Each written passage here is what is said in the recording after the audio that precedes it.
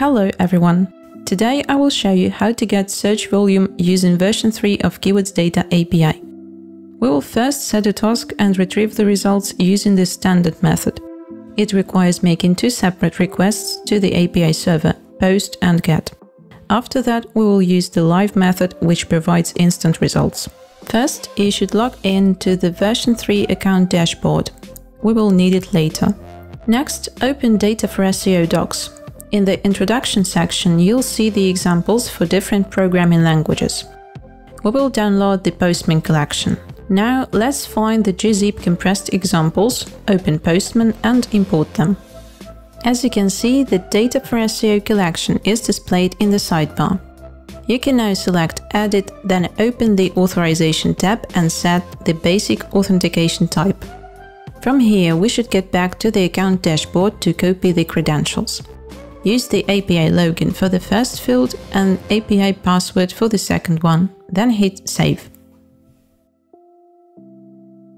Now open the Keywords Data folder, click on Search Volume and choose the task post.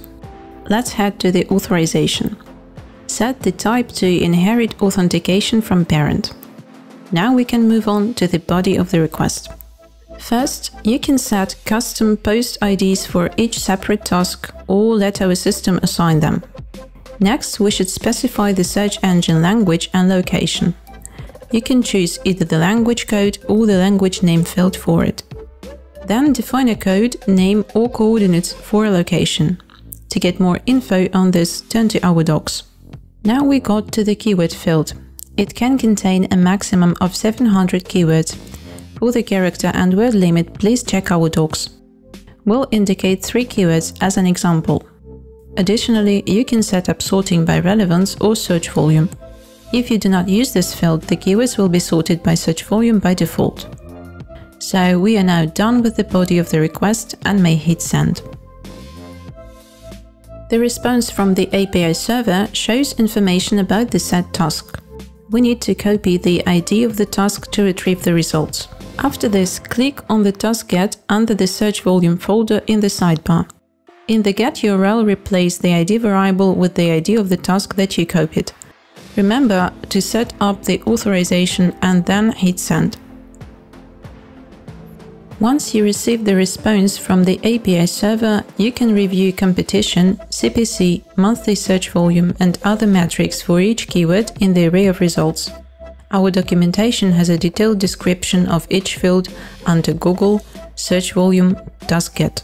Now I'm gonna show you how to use the live method and receive results in real time.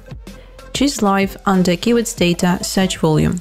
To set a task, we should repeat the steps we followed for task post.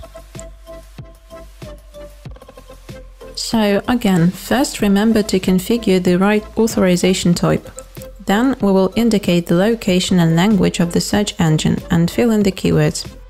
We will also sort the results by relevance. You can set up sorting by search volume or not use this field at all as the keywords will be listed according to this metric by default. Once you're ready with the body structure, hit send. As you can see, the response of the API server already contains the keyword metrics. A detailed description of these fields is provided in our documentation. Congratulations on your first call to Keywords Data API. Now you know how to empower your keyword research with DataForSEO. Thanks for watching.